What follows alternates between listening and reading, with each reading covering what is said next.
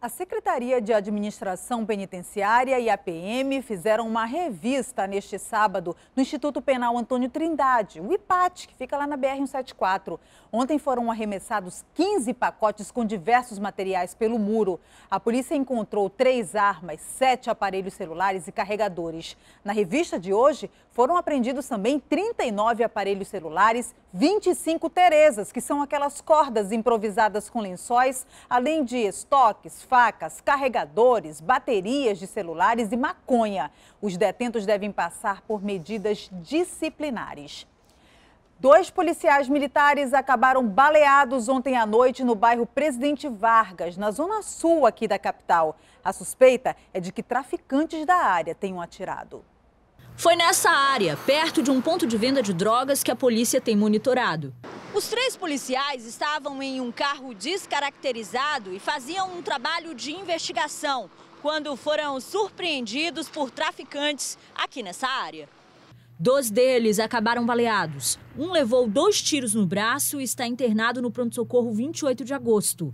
O outro passou por cirurgia no pronto-socorro João Lúcio. Foi atingido nas costas e corre risco de ficar paraplégico. Segundo a Associação dos Cabos e Soldados, foi o terceiro PM que conseguiu socorrer os dois colegas feridos. É uma área de risco, uma área vermelha, como costumamos chamar, e os policiais passavam pelo aquele local e foi percebido um veículo estranho passando pela localidade pelos infratores e assim eles efetuaram esses disparos. A polícia ainda tenta identificar os traficantes que atiraram contra os PMs e já tem pistas. As barreiras policiais montadas nesse fim de semana nas saídas de Manaus e na zona leste da capital estão atentas. É, geralmente, quem é de, do, de um bairro, eles efetuam roubos, assaltos no outro bairro, tá certo, e fogem para cá. Segundo a Secretaria de Segurança Pública, não há registros de policiais feridos em serviço desde 2016. Já o número de mortos de lá para cá chega a 27. Uma má notícia para os motoristas: a Petrobras anunciou um novo aumento no preço da gasolina nas refinarias. E isso deve ser repassado aos consumidores a partir de amanhã. Hoje, os fiscais do PROCON foram às ruas na tentativa de evitar que os donos de postos aproveitem isso para cobrar preços ainda mais abusivos. Não se assuste se amanhã a gasolina amanhecer mais cara. O atual preço de R$ 4,69 será reajustado em aproximadamente 10 centavos nos postos. Teve motorista que ficou surpreso com a notícia. Vai aumentar de novo? Você está preparado para mais esse aumento? Não, não acredito. 2,25%. Ave Maria.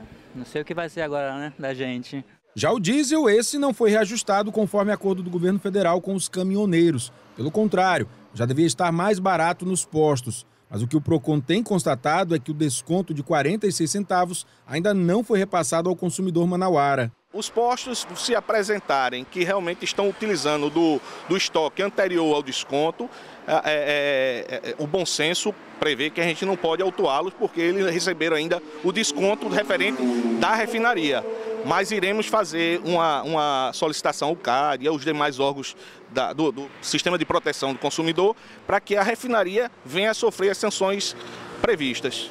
A fiscalização do PROCON começou nesta sexta-feira e já percorreu mais de 40 postos em Manaus. Até o momento, em nenhum deles, o desconto de 46 centavos foi encontrado. Olha só essa história. Dois homens que estavam em uma motocicleta foram atropelados por um caminhão hoje à tarde. Eles trafegavam pela rua Cupiúba, no Distrito Industrial 1, na zona sul aqui de Manaus. Segundo a Polícia Militar, os dois assaltavam pedestres na área quando o motorista de um caminhão, até o momento não identificado, atropelou a dupla. Um dos suspeitos ainda conseguiu fugir do local. Já o segundo envolvido ficou ferido foi quando um homem não identificado que passava pela rua presenciou os assaltos e também o um acidente. Ele pegou uma tampa de um bueiro e arremessou na cabeça do suspeito, que escapou do acidente, mas morreu com a pancada na cabeça. No próximo bloco tem a Marcha para Jesus, que reúne uma multidão aqui em Manaus. É depois do intervalo.